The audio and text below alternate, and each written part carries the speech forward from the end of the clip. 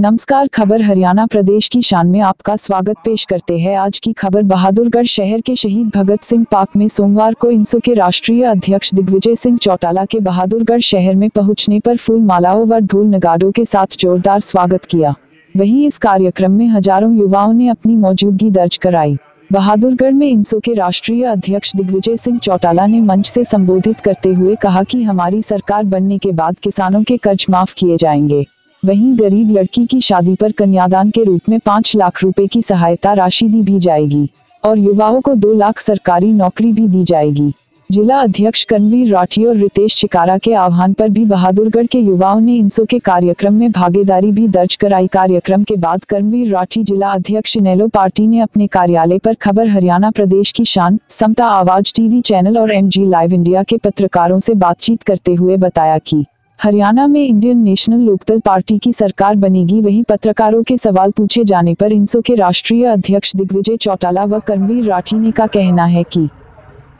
College यात्रा को लेकर हम यहाँ आए स्टूडेंट्स की समस्याएँ सारी बातों पर चर्चा करते हैं देश के क्या हालात हैं प्रदेश की क्या परिस्थितियाँ हैं, उस पर चर्चा हुई तो उम्मीद है कि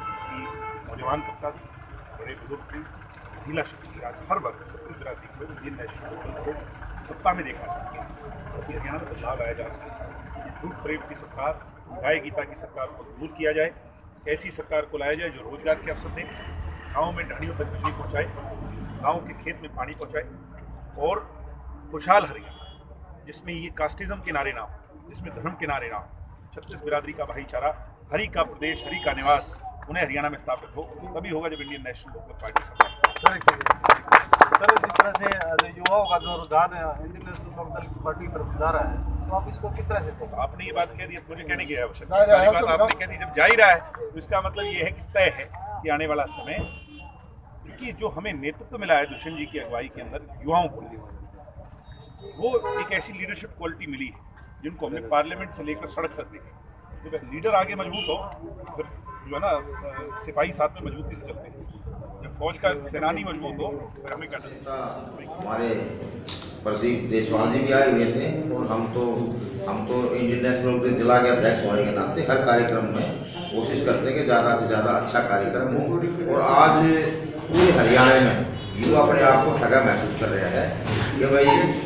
इस सरकार ने जो बीजेपी नेता अपने आप में जो नारा दिया था कि भाई हम महँगाई भत्ता देंगे, बेरोजगार को रोज़गार देंगे, आज रोज़गार देने की बजाय जो ना, युवा सड़कों पर गुजर, भटक रहा है। तो बीजेपी सरकार जब से आई है, आज तक जो है ना डेली वेजेस पर तो लगा रहे हैं, उनका ये नहीं पता कौन किस टाइम हटा दे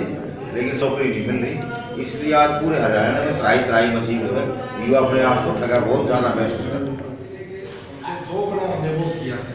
और एस वाई एल ना मिलने के ना पानी आने के उस पर अमित शाह जी तो हरियाणा में पानी की कह रहे हैं।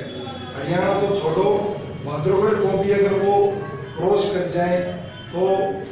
शायद ही ऐसा हो। पाएगा